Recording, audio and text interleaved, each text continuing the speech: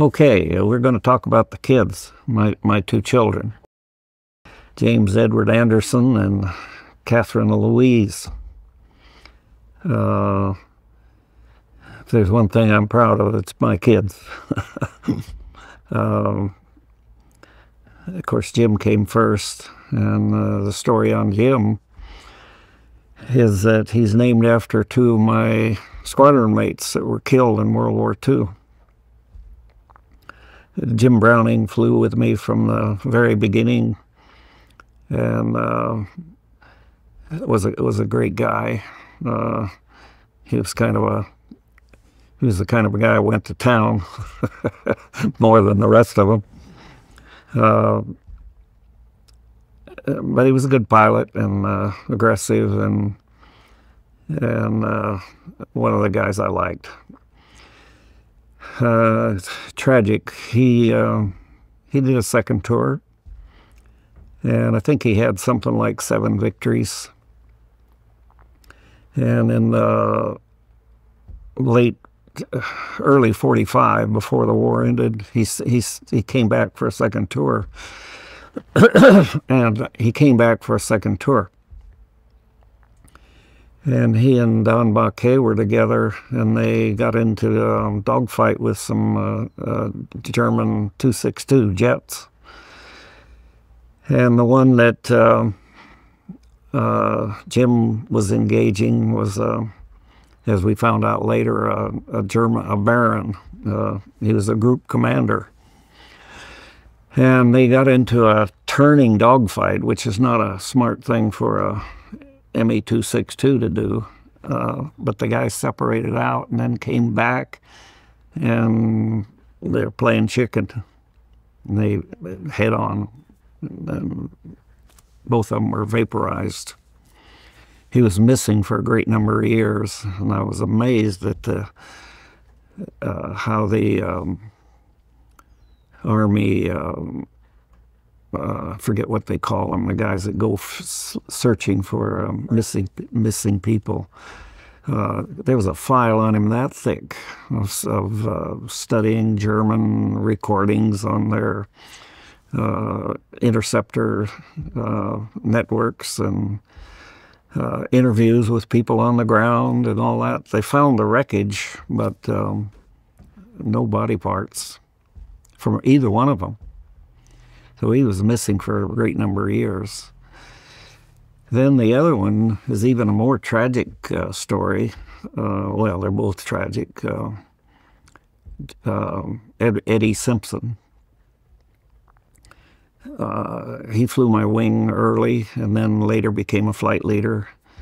And I think he had uh, five or six kills and was a flight leader and uh, he, was he was the kind of guy that uh, uh, uh, he was he was a he was he just a great guy, good pilot, hangs in there like you know just like glue on your wing.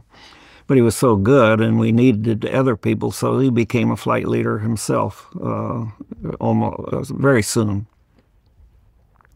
And the story on him is um, he um, he's one of these guys that would say, uh, uh, "Let's let's go to London next next weekend."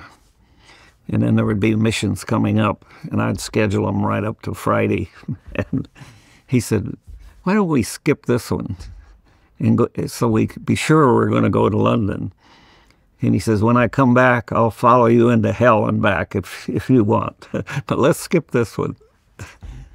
Uh, but uh, he was courageous and, and uh, he was the kind of guy you wanted with you all the time in a fight or anything.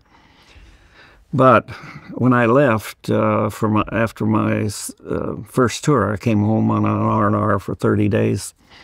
He, he hadn't finished his tour, course, and uh, by the way, I was the first guy in, of all the original pilots in the 357 fighter group to complete a tour. Uh, he uh, he was there, and um, there was a mission going to Russia, the, sh- the shuttle raids where they went to Russia, bombed on the way to Russia. Then they went to bombed and then went to Italy and then bombed and went to back to England, uh, a, a triangle thing. They tried it, I think, three times. It was a disaster, but um, uh, it was something they tried, trying to uh, work with our allies. You know, the Russians. The Russians didn't want us in there, and uh, it was it was it just wasn't a way to do it. But anyway, he looked at the Russian mission and he calculated how many hours he would fly, and he would overfly his tour. So he says, "No, I'm not going to go. I'm going to stay here and finish my tour and go home." and stay home. uh, so the the the group went on to, to um, uh, on that mission. In the meantime, there was there was airplanes behind, and they used them uh, sparingly. And he was on a mission over uh, in France. Now this is after D-Day, and uh, and uh, it's over uh, potentially occupied country, uh, reoccupied by the French. And he took a brand new wingman with him, and the wingman ran into him. They had a midair. The wingman didn't survive, but uh, Eddie got out of the airplane and parachuted down into uh, France. Uh, he was uh, picked up with the um, by the uh, French underground, the Maquis. And apparently there was a, a large group of them, and they also had some other Allied flyers with them. And they were going to have a ceremony out in the out in the forest, some remote place, uh, for um, honoring some of their their um, countrymen that were killed and bury them. So they had quite a gathering out there. Somehow or other, the Germans got word of it, and uh, we learned this. We learned this all much later. Um, they sent a, um, a, combat unit out to uh, capture them, and they saw them coming, and they all scrambled and got in their trucks and left.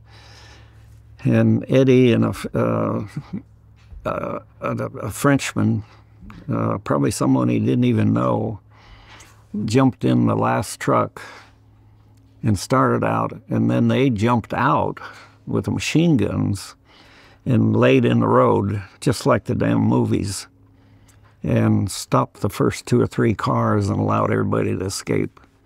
And uh, they were both killed. So those are the two guys I named uh, my son after, James Edward Anderson. And of course, Jim was a, was a great guy. Uh, I'm proud of my kids. They're, they're, they were, I, I don't remember having a problem with my kids. Uh, they probably had a problem with me, but we're talking about Jim, uh, my son. And uh, uh, every once in a while I'd ask him if he was interested in flying or the military or things like that. And no, no, he didn't want to do anything like that. Course, we moved around from base to base, and you know he was familiar with the military and uh, uh, didn't seem much interested in it. And so you know, I quit asking him. You, you got to want to do what you what what you what you want to do. Uh, so he and his buddy came to me in their senior year in high school and said, "Hey, Ron and I want to go to uh, the Air Force Academy. Can you help us?" I said, "Yeah, I could have a year ago." Said they've already been selected they selected them in their junior year. And they both were pretty downtrodden about it. And uh, so uh, the first thing I wanted to do was make sure he was um, physically fit. So I had the flight surgeon give him a flight physical. And of course, he was fine. And uh, so what we decided, we, we uh, looked into other things, and uh, he went off to a prep school, which probably helped him good, uh, good on to do on the entrance exams and things. And then his buddy went to the uh, Air Force, uh, the Academy prep school right there on the grounds. It's, it's quite a deal. a lot of the athletes go there. And that's where all the appointments from the services, from the ranks, come from, from that prep school, probably. Uh, shorten up the story, they both got into the, uh, got in, got an appointment. Appointment's a big problem. And actually, um, local politicians um, helped me on that. They both went to the academy. They both graduated in um, uh, class 69. And then Jim put in 20 years, and uh, then he went to the airlines. Uh, he, he, had impeccable timing. If he'd have stayed in, he probably would have been fine. Uh, the Cold War was still going on. but he went with Southwest Airlines, and um, they were just about to sprout. And so he spent most of his time as a captain and he put in uh, 16 years with them and then got aged out at 60. And we'll tell a story about Vietnam later. And my daughter, um, she came along second, and um, she's always been a, a great gal. She, uh, we got her off to college, and um, and she got a teacher's um, teacher credentials and then she met Bill and uh, uh, in college, uh, Bill Burlington. They got married pretty soon after um, after college and uh, have raised a, a, very fine family, two girls. And the two girls, the girl, one one daughter, one granddaughter has twin boys, and uh, the other one has a, a, little girl, little Ellie, named after my wife, great great granddaughter. And, and uh, my later years here, um, both kids have been very supportive, of course, with Eleanor in the nursing home. Kitty comes all the way from North Carolina about every three months to visit her mom and, and me.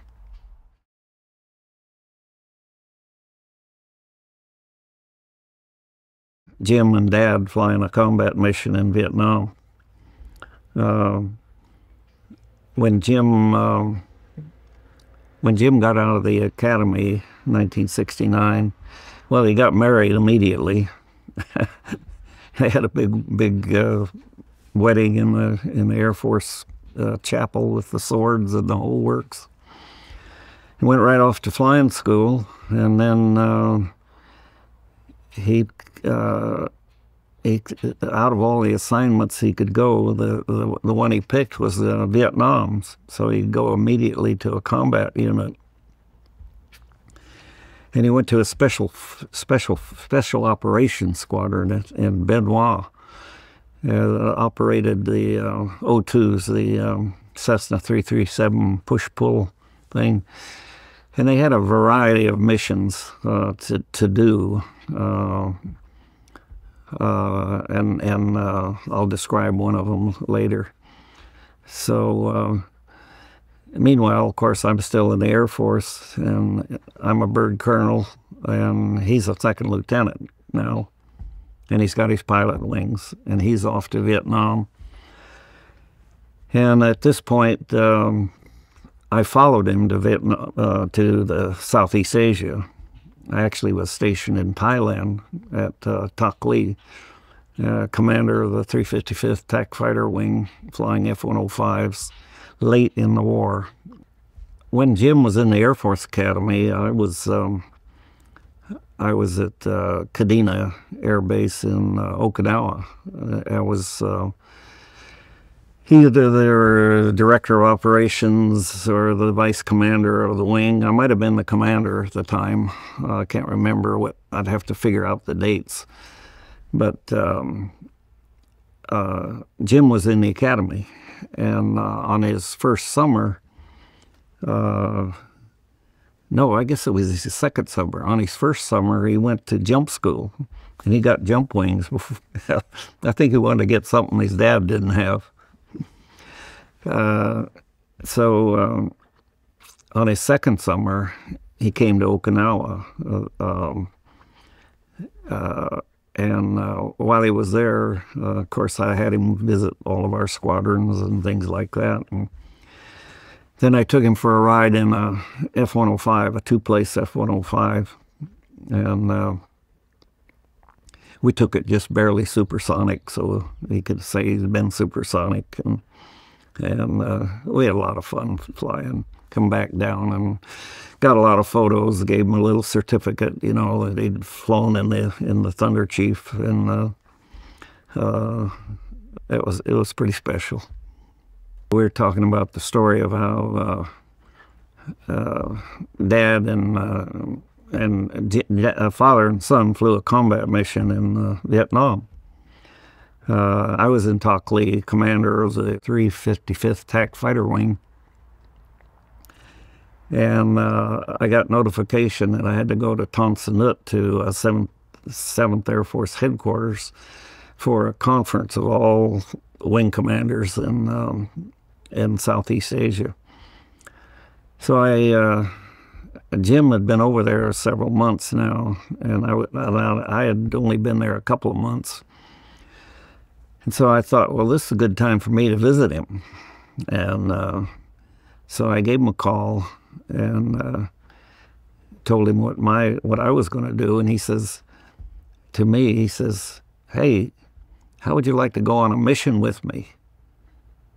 And I thought about that a little bit, and I said, you know, that would be great.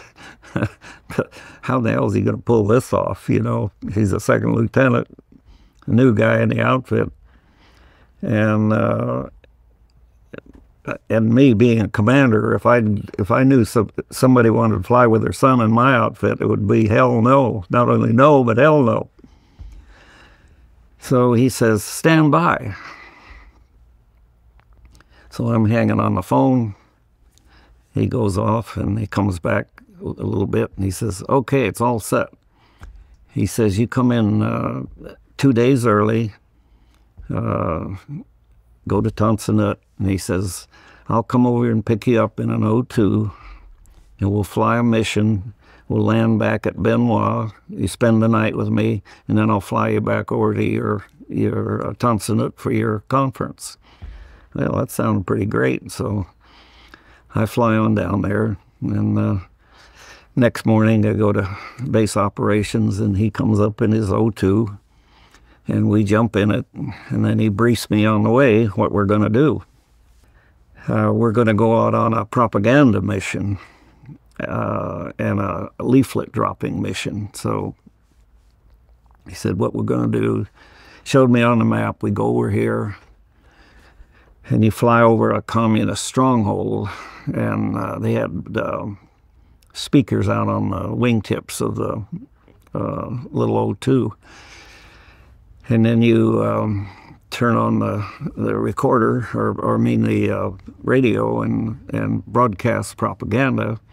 Then you come back across and drop leaflets out, surrender leaflets or safe passage uh, leaflets. And then we had we had two or three places to do that.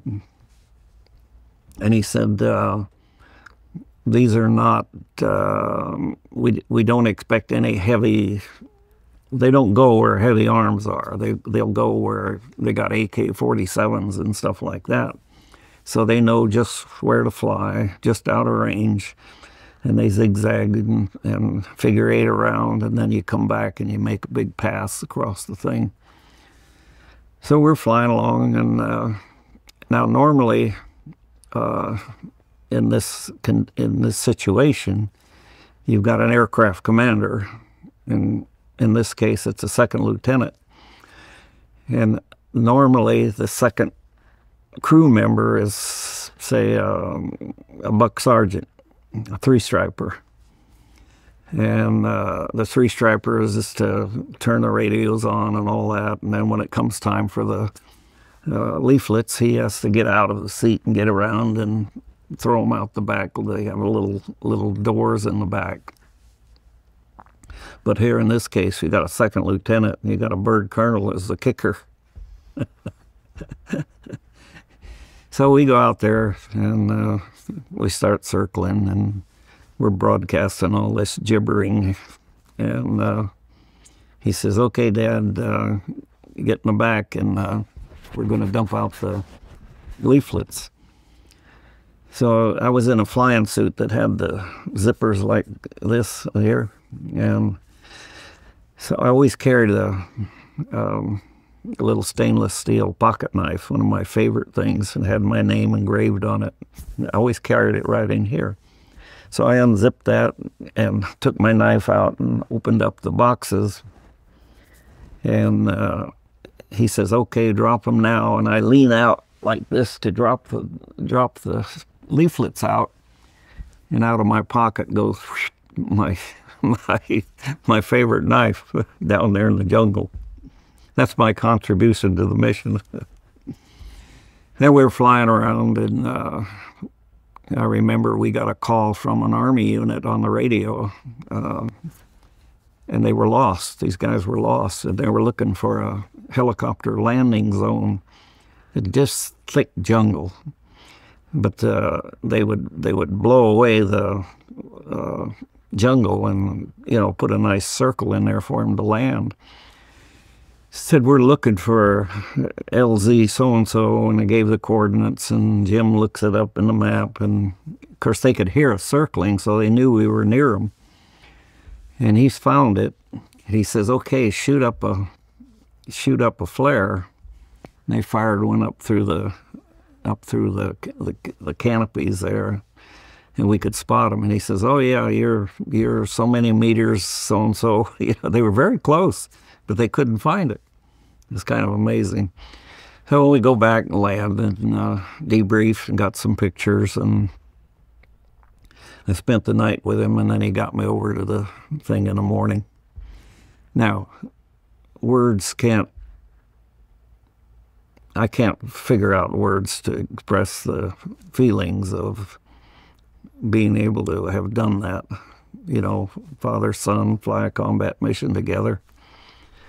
Ellie, my spouse, we're on our 68th year now she's got some words to say about it. she says she's damn glad she didn't know about it until it was over.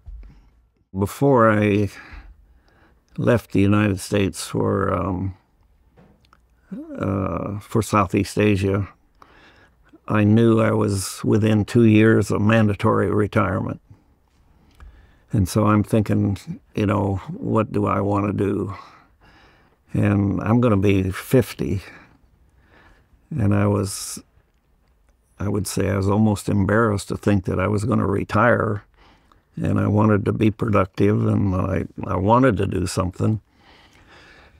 So I uh, I knew that the F-15 Eagle was the program, the test program would be just about starting in summer of '72, and I had been familiar with it, uh, generating the requirements of for it when I was in the Pentagon, and it seemed like the best thing we would uh, we we were we were going to develop uh, in a long time.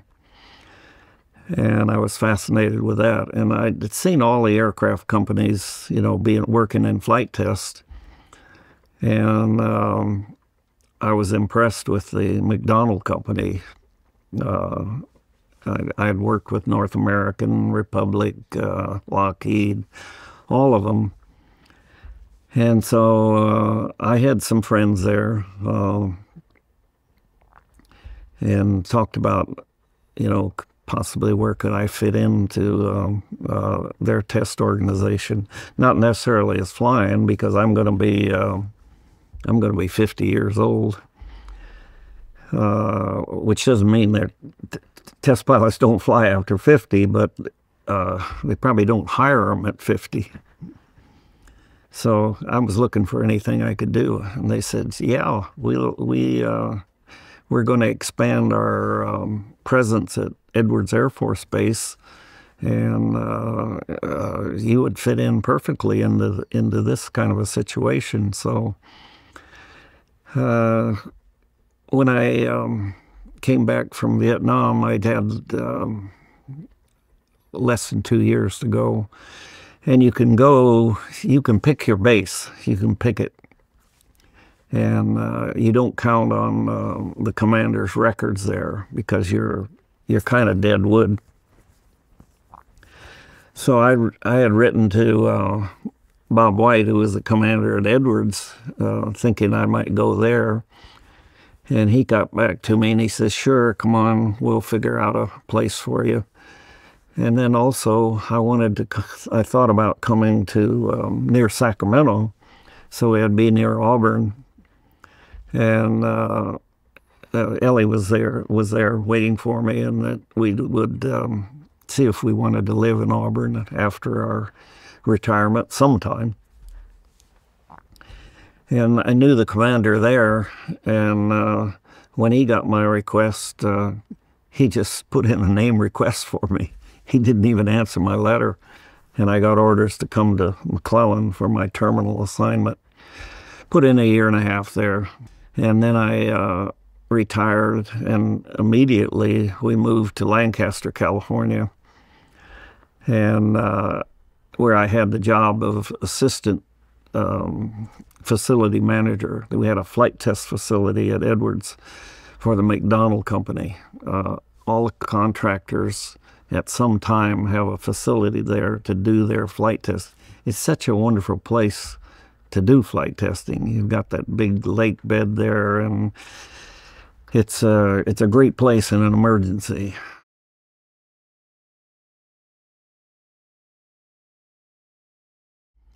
You know, there's flying, and then there's flying. uh, some people fly as a professional thing, just, you know, it's, it's a work, it's a job. But um, other people, I'm one of them, that flies because of a passion, a passion for it.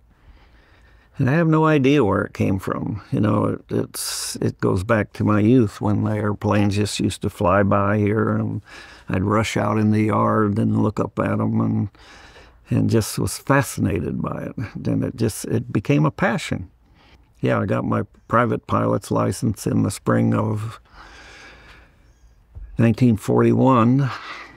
When I when I got out of the uh, when I got out of the Air Force and I went to work for the McDonnell Company, I thought I was going to quit flying. And, and this will give you some idea about passion. Um, I um, thought I'll go cold turkey. I will not fly. I've done the best. I've had all the best kind of airplanes, and I've done all the things that people want to do in airplanes, and uh, it's all over. I just quit. After I retired and went to um, uh, Lancaster and started working for McDonnell, uh, I was seeing all these airplanes flying around at Edwards and everything, and it, it, it, it just, I just couldn't quit.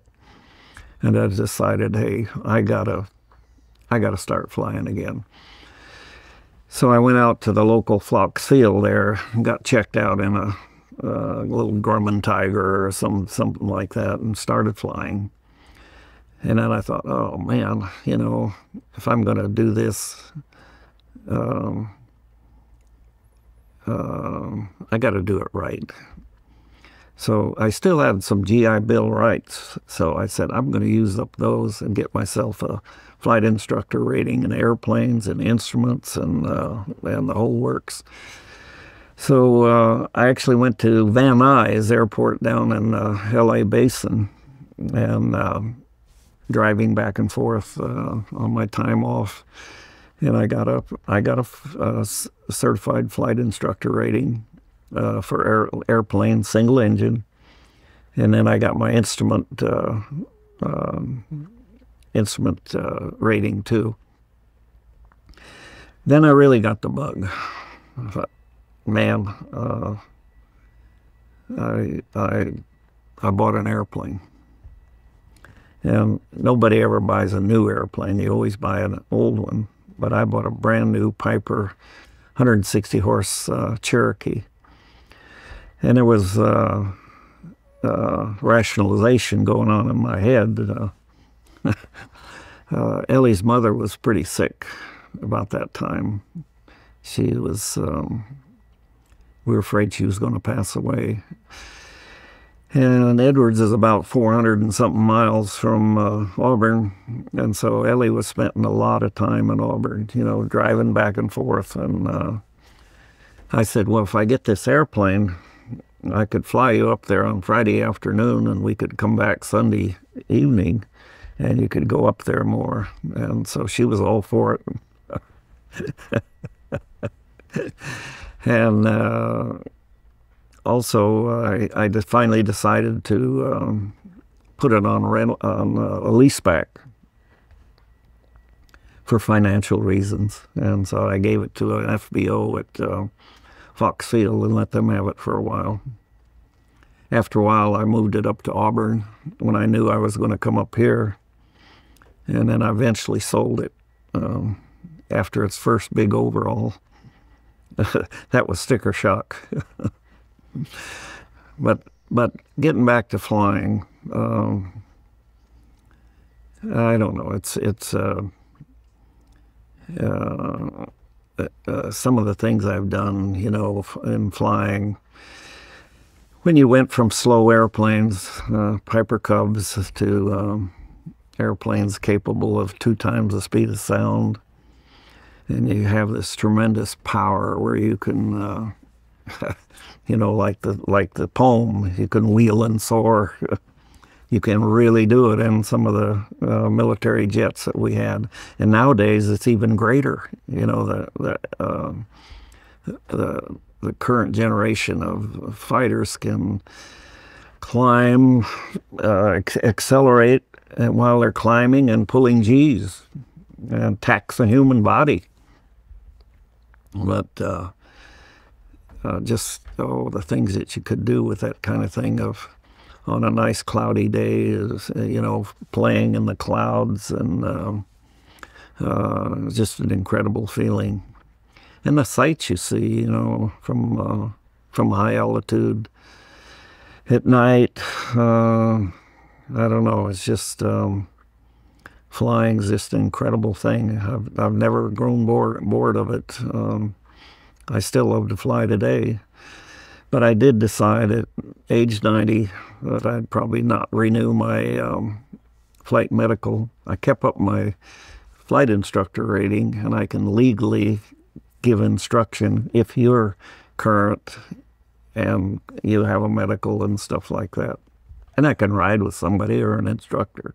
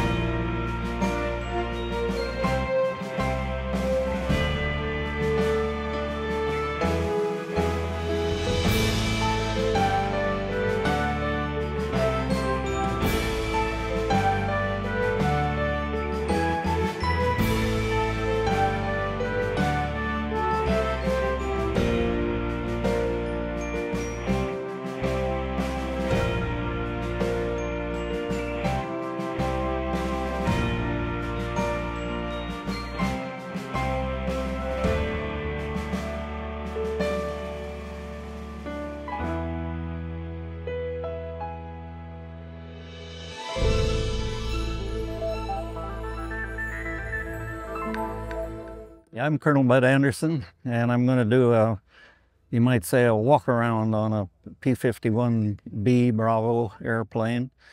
Uh, this particular airplane right here is painted exactly like my airplane was painted in World War II. It's been restored by Jack Roush, and he's done a marvelous job of uh, restoring it. And one of the main features, of course, is the uh, Malcolm hood, which is quite a quite a modification on the uh, on the P-51Bs and, and, and Cs. Bs and Cs had uh, what we call a birdcage canopy, and you opened it like this over the top like that. And of course it had slats on the thing. And of course, when you're looking out, uh, the damn slat is right there by your eye. And so these were marvelous improvement uh, for a pilot to uh, look around in aerial combat. Well, when you did a walk around in the morning, you usually uh, came out from operations and walked out to your airplane. Your crew chief would meet you uh, somewhere in the area. And then you go over the paperwork and sign the Form 1A, the um, uh, maintenance records on the airplane that, uh, uh, that, that, the, that the military kept at the time uh, and discuss anything about the airplane if you wanted. Of course, this was my own personal airplane, and I knew it very well, and uh, and I had a, a wonderful uh, crew, a ground crew. Uh, I flew all of my combat missions, 116, with uh, 480 hours and 20 minutes of combat flying without a single abort for any reason whatsoever. That's pretty remarkable, actually. Having said uh, what my uh, combat record was, uh, 116 missions without an abort, uh, leads me to my uh, my crew chief story, which I like to tell um, whenever I can. Uh, you know, I think you could imagine yourself being a, a crew chief of, a, of an airplane, World War II. Your pilot's doing the fighting and the dying, and uh, you're back here maintaining that airplane. And and uh, and uh, you know, uh, if you're the crew chief, that's your airplane, and you're you're a part of it. And when that guy gets a kill and puts it up in here, that's your kill too the guys were very, uh, uh, very supportive and wanted to do their part. Uh, uh just uh, incredible. And the story I like to tell, my crew chief story, is about my second tour when I I had a a P-51 D Dog, the classic model over here and it was camouflaged in this uh, dark green camo completely, just about like this airplane here. And uh, it was my second tour, and Otto, Otto Heino had been uh, promoted to tech sergeant, and uh, crew chiefs were staff sergeants. So uh, he had a flight of uh, six airplanes to oversee and so he handpicked a new crew chief for me, Mel Schuneman. And then, of course, the third member of my, my crew was uh, Leon Zimmerman, who was my armor.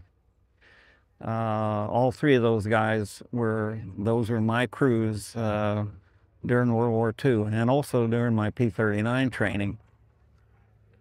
So uh, as the story goes, in uh, my second tour, uh, I have the, the completely camouflaged uh, D.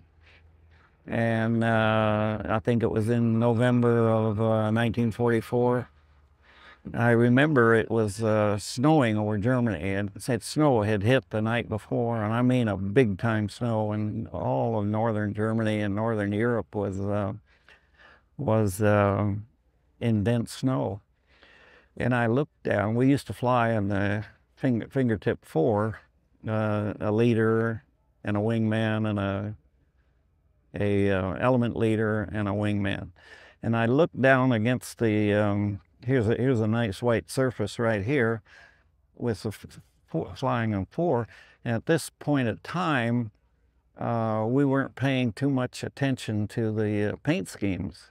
And we had all green ones, we had all silver ones, we had uh, some that were in half, half camo and half silver. And I'm looking down at this snow and which one stood out? Well, of course, the dark one stood out. The camouflaged airplane stood out. So I, I made a mental note to talk to my crew when I got back to um, after the mission. When I landed, I uh, got them together and I said, you know, uh, it's snowing over there and I'm going to finish my tour in the winter. Uh, whenever this thing is laid up for heavy maintenance, would you please depaint it, take the the um, the camo off of it and make it a silver paint scheme. And I put it to him on a uh, on a tactical basis that it might save my butt.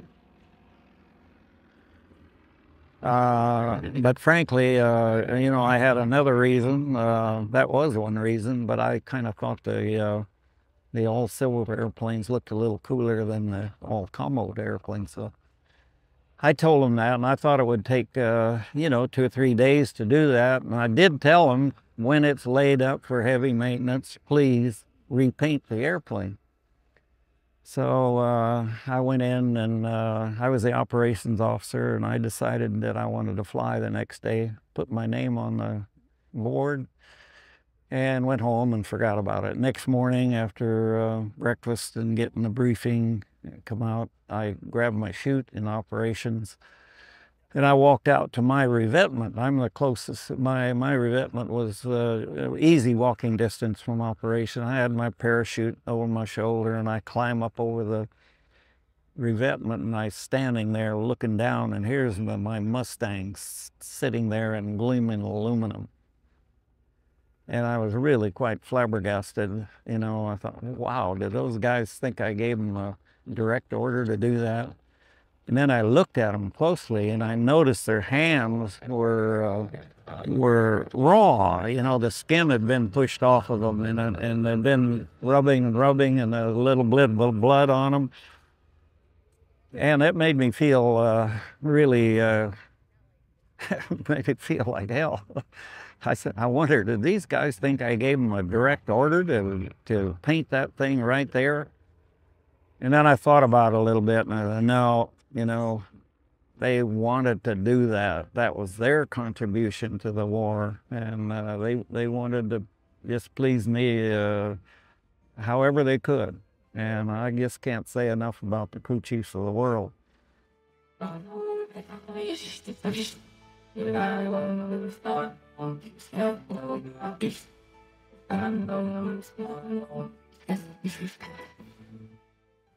So uh, after you uh, finish your paperwork and discussion with the crew chief, uh, they always had the airplanes just absolutely perfect and ready to go. And uh, uh, there wasn't much sense of uh, doing a walk around, but that's required. So we did a cursory walk around uh, to comply with the rules. The pilot will do a walk around. So he walked around the airplane and just kind of checking. Here you want to make sure the gas caps are closed, the gun bay doors are down tight and smooth.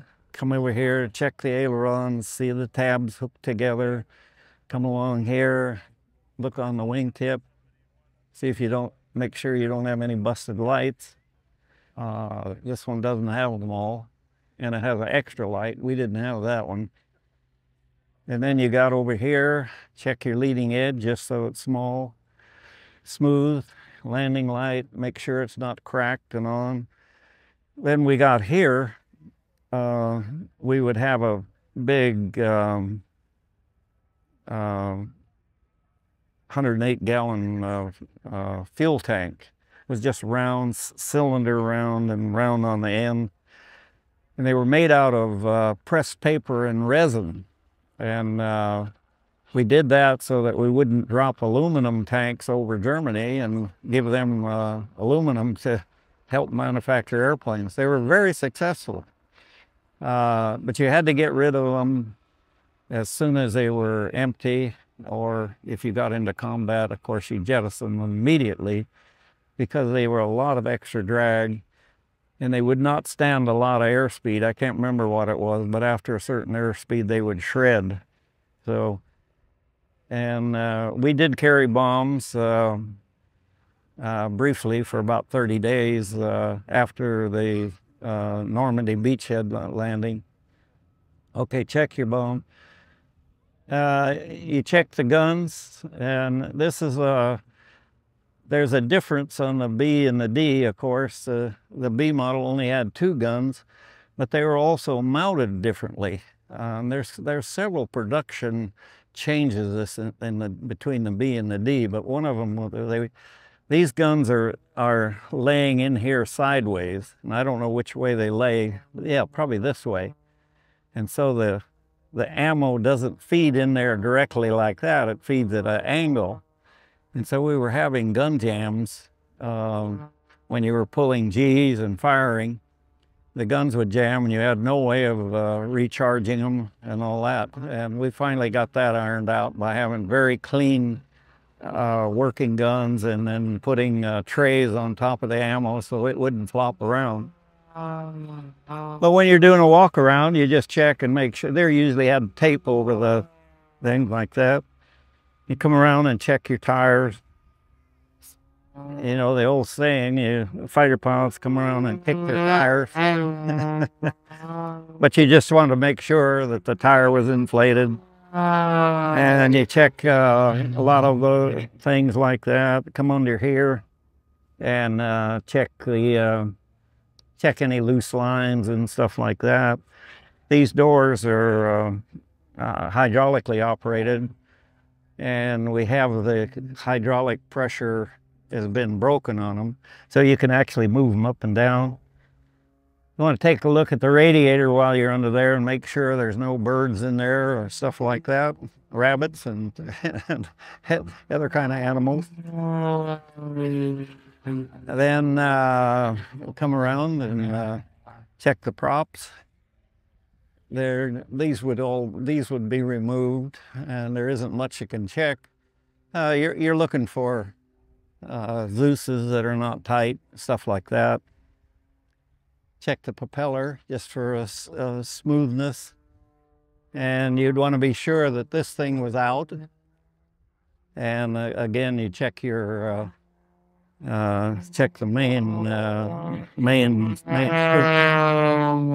and you come around on this side, and do the same. You get in here and you look around for loose, loose uh, lines, um, anything that doesn't look there. Oh yeah, and on the landing gear, you want to be sure that this thing isn't flat. It has a certain, you want to make sure there's a gap here on the uh, on the oleo strut so that it's not down here flat or it's not stuck way up here and the airplane would be cocked sideways like that. Uh, not much else you can check just to make sure, you know, it's, everything's working. Again, the gun's the same thing. Uh, again, on this side, you, you would check your tank and just make sure it's hooked up properly and, and uh, look for any visual reference of a phone.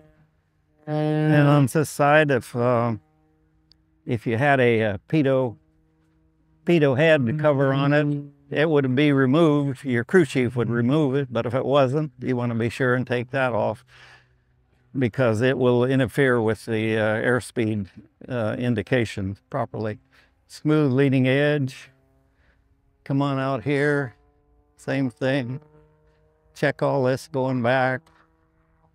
You get on the trim tab again, flaps, and again, you want to make sure all these doors and all these things are attached. And in particular, he wanted that to be sealed properly. And uh, come down in here. Now, when you come by the radiator, uh, the thing that I always look for when I first walk up on the airplane is to make sure that this uh, scoop is in what we call the open position. That's, that's manually wide open. And so you knew that the controls are set properly, but we always double checked them. Uh, this is a tie down hole that goes through there. Just make sure that the airplane hasn't been tied, isn't tied down. Come around here, leading edge. Uh, the uh, B models that we had, the Bs and the Cs, uh, did not have this strake on it. Uh, they came right down here like that to the wing. And these are uh, these were a field mod. They came on some of the late production airplanes, but they were added uh, afterwards. Uh, Jack had a standard uh, tail and decided to add this uh, ventral to improve the directional uh, flying qualities of the airplane. You got the leading edge, counterbalance. All you're doing is just checking for, see that everything's here. Uh, trim tab, come around here. Here's the rudder tab and the rudder. And then you come around this side, same stuff. Check the wing, back and forth. And then uh, you're back here. You want to just check your tail wheel, make sure it's inflated properly and the doors are unobstructed. And again, here's what we check here. Make sure that that thing is wide open. That's real important. Then the last thing on this side, you have the fuselage tank uh, thing. You want to make sure it's closed and sealed properly.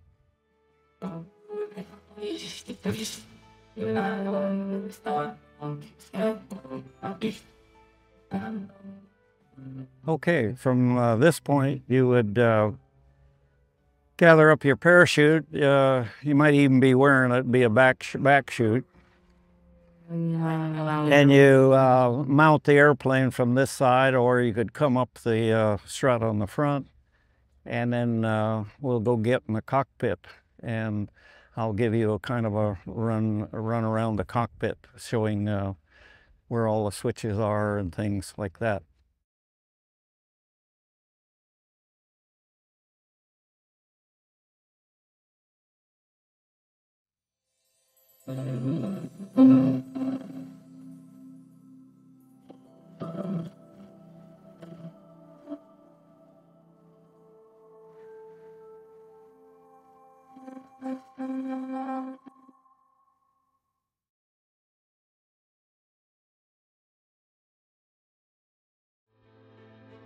Aviation, the art of aeronautics, began with the dreamers, inventors and daredevils who dared to defy gravity.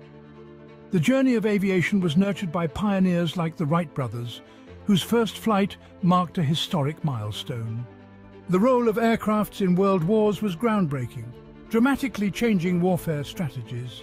This initiated a technological evolution in aviation, transforming the simplistic wings of a biplane into the thunderous roar of jet engines. Let's journey through the ages of aviation. Behind every great aircraft, there were great minds. These visionaries, like Sir Frank Whittle, the innovator of the turbojet engine, redefined air travel. Then there's Skunkworks Kelly Johnson, the genius behind the SR-71 Blackbird. His designs combined speed, stealth and power, crafting machines that dominated the heavens. The contributions of these pioneers have left an indelible mark on the canvas of aviation, shaping the course of history and inspiring generations of engineers and aviators. Each epoch in aviation history gave birth to extraordinary aircrafts, each with their own unique features and roles. The Lockheed SR-71 Blackbird was a marvel of speed and stealth, the F-105 Thunderchief, a supersonic fighter bomber, was vital in the Vietnam War. The P-51 Mustang, a long-range fighter, was critical in World War II. The P-47 Thunderbolt, a heavyweight fighter, was used extensively in the same war. The A-10 Thunderbolt II, the Warthog, is a close air support icon. The Messerschmitt ME262 marked a leap forward in aviation technology. Each of these game changers were instrumental in their eras, and their legacies still resonate today. Beyond the game changers, there are those that have transcended their practical roles to become icons. The Concorde was not just an aircraft, it was a supersonic symbol of luxury and speed. The B-52 Stratofortress, a strategic bomber, is an icon of power and resilience. These magnificent machines and others like them have become much more than just aircrafts. They are enduring icons that encapsulate the audacious spirit, the relentless innovation and the boundless ambition that define the world of aviation.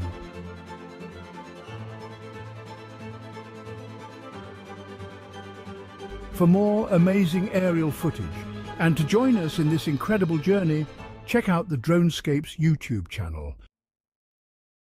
If you enjoyed this video, please remember to like and subscribe. And as always, thank you for watching.